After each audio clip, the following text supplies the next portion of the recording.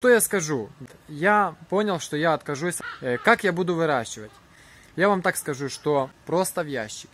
Внимание, друзья. Его высота 10 сантиметров. Будете следить за этим каналом, вы просто увидите, это очень...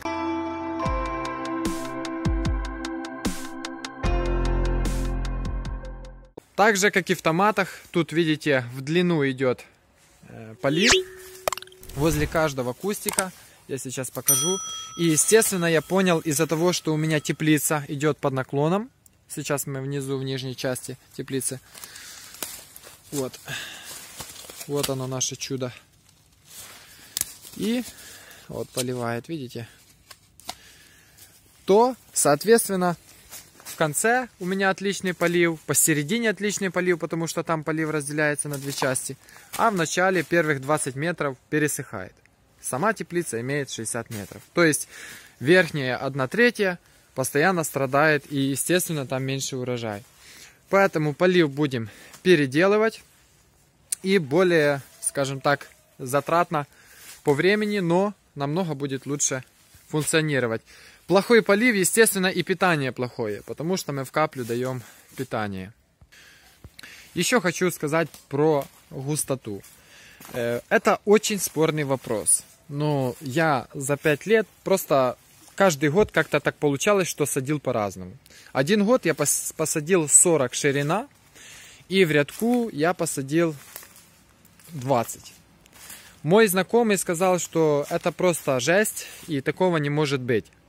Чтобы перец еще нормально давал урожай при такой густоте. Но, друзья, так у меня получилось, и так я доволен, потому что когда я считаю, сколько, я, сколько пришло перца в том году и в этом, когда я посадил 55 э, между рядя и в рядке было 25, даже 30 почти, то я понял, что перец не боится густоты. Ну, разумный.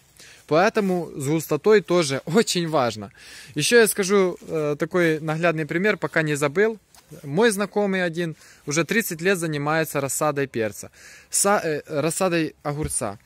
И он садит себе огурец тоже на плоды, и он садит в рядке 20 сантиметров, а между ряде 90. И очень доволен урожаем. И лично был у него в теплице. Другой человек тоже имеет такой же солидный опыт и опыт своих родителей.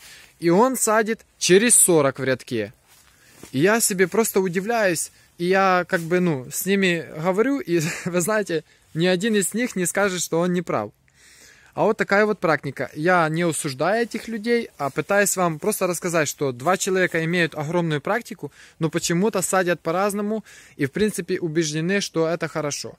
Я, в принципе, сторонник того, что нужно правильно как бы работать и все-таки пробовать что-то менять и посадить густо. Особенно, я думаю, что тут еще есть дело и э, как какой сорт. Это тоже важно. Ну что, друзья, еще я расскажу буквально пару моментов о наших друзьях в теплице. Э, первое это тля, клещи. Э, если в обычный сезон я один раз только обработал тли, то в этом году я обрабатывал три раза. Следующие товарищи, которые очень серьезно дали нам жизни в прошлом году, но я вспомню в этом видео, это мыши. У нас пленки не было для мульчевания, как в этом году, вот этой черной. И мы все на коленях там ползали, э, рвали. И когда уже первый раз все вырвали, второй, третий, на четвертом кругу просто нам не хватило уже духу и времени здесь делать как бы на вот этом квадрате одной третьей этой теплицы как бы вырвать. Маленький момент. Если, если вы думаете о том, что нужно нанимать работников, то вы должны понимать, что иногда дешевле себе сделать самому, потому что работники просто покалечат твои растения, безжалостно поломают и скажут, что ничего страшного. Я не наговариваю на работников, но почему-то это вот так вот, друзья. Ну, поэтому мы сами старались сделать. Или они делают в 4 раза медленнее, как ты, ну хорошо. Опять же, это очень затратно, поэтому мы купили пленку и очень довольны ней. Но в прошлом году ее не было. И мыши, они себе по перцам почему-то не умеют лазить. Это, в принципе, нас устраивает. Но они по сорнякам, вот, кстати, видите, вот такие вот сорняки, они оплетают растения и делают, скажем так, встают такой лестницей для, для того, чтобы до перца добраться. И мыша, она просто залазит на ветку. Я покажу сейчас на зеленом каком-то перце, но в прошлом году у нас самые шикарные ели. А, вот, пропустили перчик. Она сюда залазит, только перец такой 200-300 грамм, шикарный. Вот так делает своими, своей мордой, значит, дырку. И залазит. Видите, друзья, там, если покажу ближе, семечки, семена. Она их там трубит, перец дальше не трогает, вылазит и себе все. И так целый куст, 5-6 плодов. Я думаю, понятно. Если где-то подпортился перец, еще дешевле можно поставить, и кто-то там забрал его на закрутку. Но если вот такой момент, то уже никуда. И последние это слизни. Я никогда не думал, что слизни могут так сильно и быстро размножаться. Конечно, в этом году мы нашли на них управу, и я оставлю в описании, есть три способа уничтожить слизней. Как уничтожить слизни? Это видео у нас очень хорошо набрало просмотров на третьем месте со всех видео по просмотрам. Я думаю, вам будет интересно. Мы, кстати, э, за только физический инсектоцид. Не знаю, как вы, но в этом разберетесь. В общем, что делают слизни? Они просто едят кусты и не жалея, друзья, не жалея.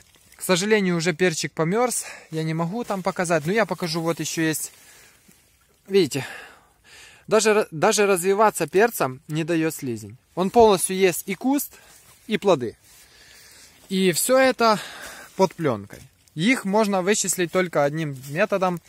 Когда ты придешь рано до восхода солнца или уже после захода солнца, ты сюда приходишь и их ловишь. Они ползают по крайним рядкам, только по крайним рядкам, и это хорошо, что хоть по крайним, или по пленке. И я там быстренько давал им, скажем так, физический инсектоцид. Я думаю, вы сможете понять, посмотрев то видео. Оно будет в описании. И только так боролся. Но я уже боролся так, когда они уже серьезно покалечили. Так что где-то кустов 300-500 они поели. И, соответственно, это хороший минус. Ну, друзья, теперь пора сделать конкретные выводы по всему тому, что я сказал. Очень, конечно, обидно, что все-таки, несмотря на то, что тебе много людей помогает, почему-то совершаешь лично свои ошибки. Это первое. Второе, это, конечно, тяжело, но все-таки я доволен тем, что мы прошли вот эти все моменты и в этом году, и э, в прошлые года, сколько я говорил, какие были у нас ошибки и потери финансов, и, в общем, и стресс нормальный. Потому что почему-то в этом году, потеряв большую часть урожая, сделав столько ошибок, потеряв и на лечение деньги лишние, э, самих, самих уже перцев или томатов, то мы просто увидели, куда дальше идти. Это очень важно. Я в первом стриме говорил, как начать, э, как начать тепличный бизнес, как я начал тепличный бизнес. Я там говорил о том, что мы увидели э, хорошее направление, куда идти, э, что садить. В принципе, на канале вы увидите, потому что мы запланировали заниматься конкретно на следующий год рассадой. После этого садить томат и садить перец. У вас основа перец, а томат одну Э, одну теплицу. Э, что я скажу, друзья? Я скажу очень важный момент. Я понял, что я откажусь от рассады в стаканчиках, по крайней мере, на следующий год. Э, как я буду выращивать? Я вам так скажу, что я говорил, что я первым этапом в теплице выращивал, в рассаднике выращивал э, в стаканчиках рассаду, а еще у меня было дополнительное, чтобы как бы досадить, потому что еще один момент, который я упустил – После высадки мы не дали в каплю инсектоцид. И тоже 500 кустов как минимум э, капустянка или медведка, как их называют, съела раз. И тоже нанесла свой урон, что надо было много досаживать. В одной теплице по 100 штук это точно. То есть 500 кустов мы точно досадили. То я посадил в стаканчиках рассаду и посадил э, рассаду уже та же, та, что там на две недели позже, даже на три недели позже садилась, просто в ящики. Внимание, друзья. Просто ящик там с-под хурмы или с-под кишмеша. Там его высота 10 сантиметров. Я буду эти ящики наполнять торфом, чтобы было куда расти перцу. Буду не густо сеять туда и ставить под лампы. Под лампы DNAT. Что это за лампы? Если будете следить за этим каналом, вы просто увидите, это очень классные лампы, благодаря которым выращивают и цветы, и рассаду, и перец. Но не просто выращивают, а эта лампа, э, скажем так, она есть электроэнергию там в месяц где-то 700-800 гривен. Если она месяц горит круглосуточно, надо дать. Но за 20 дней под лампой у вас вырастет такая рассада, которая не вырастет за 40 или 50 дней весной в пасмурную погоду. То есть это экономия и время, и денег, и сил. Потому что то, что я вырастил за 2 месяца, перетаскав столько на буржуйку дров, где-то 4, 4 машины, это точно. Сколько перепикировали, это тоже время. 7 дней пересаживать с ящиков в стаканчики, плюс торф – Э, я просто увидел, что пока что для начала, такого нормального начала своего, своей работы в теплице, мне будет достаточно посадить в эти ящики. Можно, в принципе, и в кассеты, но я для себя пока попробую в ящики, так как там меньше будет риска перелить или не долить. Ну, вот так вот. Поэтому, друзья, э, я благодарен вам, если вы дослушали до этой минуты.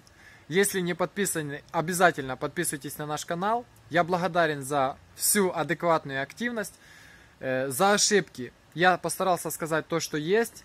Если будут вопросы, задавайте. Но помните, что всегда нужно стараться смотреть и учиться у тех людей, которые не просто рассказывают, но и имеют хорошую практику. Это намекаю не за себя, а намекаю на то, что я всегда стараюсь смотреть на тех людей, у которых уже есть хороший результат. Ну, даже если меня ведут за руку, почему-то делаю ошибки. Ну, у меня так. По-другому почему-то пока что не получается. Канал делай профессионально. Если контент вам полезен, обязательно подписывайтесь на наш канал. Скоро увидимся. Пока.